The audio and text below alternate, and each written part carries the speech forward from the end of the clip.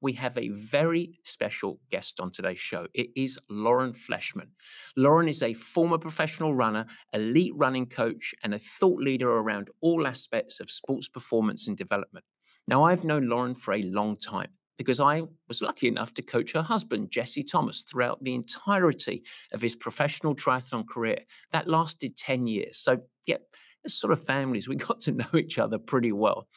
I was therefore so excited to welcome her after being fortunate enough to get my grubby hands on her new book. The title of the book, Good for a Girl. Folks, this book is important reading.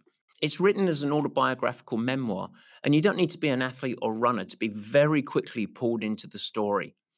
But as you start to learn what Lauren went through, the broader messages become more powerful.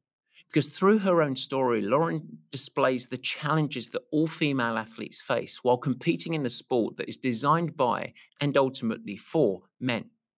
Honestly, this book, it blew me away.